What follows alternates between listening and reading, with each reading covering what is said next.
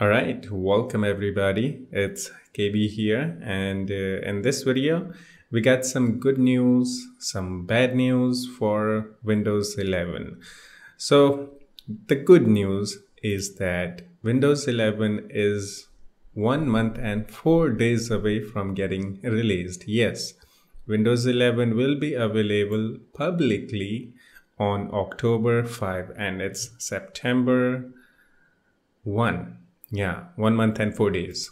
Yay, good news, very good news. Whoever was waiting for the Windows 11. But I think it's too soon what we expected.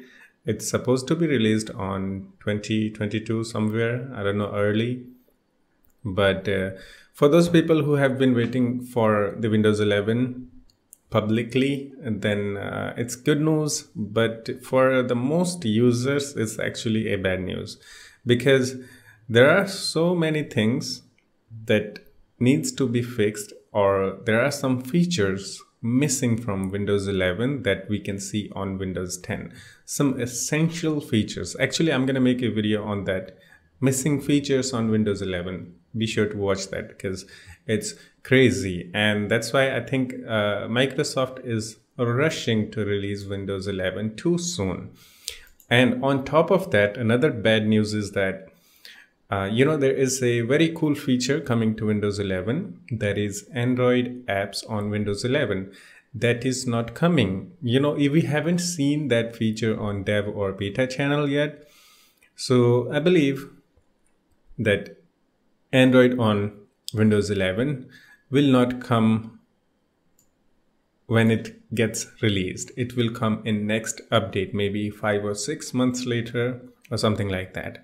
So it's really sad actually because you know in the trailer in the announcement live stream we saw that all the crazy features you know they introduce many things so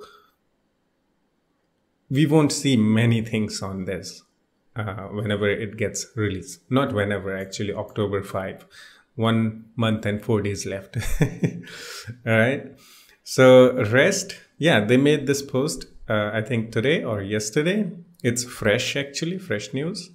So yeah, good for you guys, whoever was waiting for the Windows 11 final build. But, you know, I, you know, I just want to tell you guys, there are so many missing features that you need to see.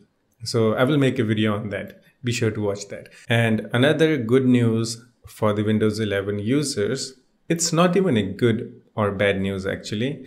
Uh, you know, if you go to the system requirements, uh, you will see the same thing here. Okay. But uh, according to many news websites, uh, they have done some changes in minimum system requirements. So this is what you see here i will put link in the description for both sites. You can go there and read everything you need to read. But let me explain you uh, what is going to happen with the system requirements for windows 11 okay? So if you meet all of these system requirements you have all of that thing that is shown here that means you will get update.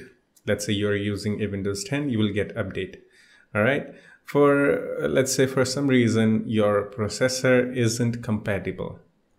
You will not get update from windows 10 let's say you don't have a tpm 2.0 you will not get any update.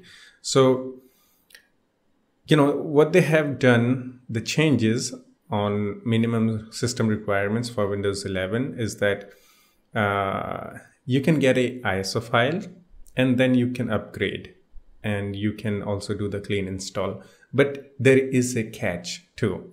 So some people, it's not officially, I don't, I don't see any official uh, statement or official blog about this, but uh, people are assuming that uh, if your PC is somehow not compatible with Windows 11 and you still install the Windows 11 using ISO file, then you won't get any updates, not even a security updates. So you'll have to install every update manually.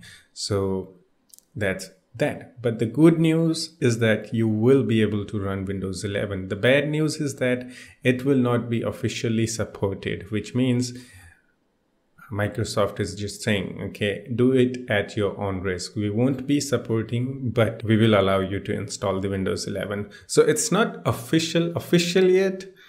Uh, I would love to test this out uh, on my old PC or laptop, but my lap- laptop has only processor that is not compatible with Windows 11.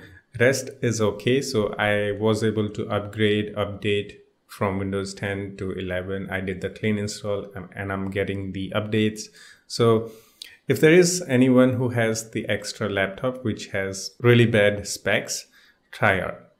Uh, maybe uh, you will have a better idea. But you know, until uh, it gets official how the Windows 11 is gonna work on non-supported PC or laptops, uh, till then I'm just gonna stay shut up. Okay.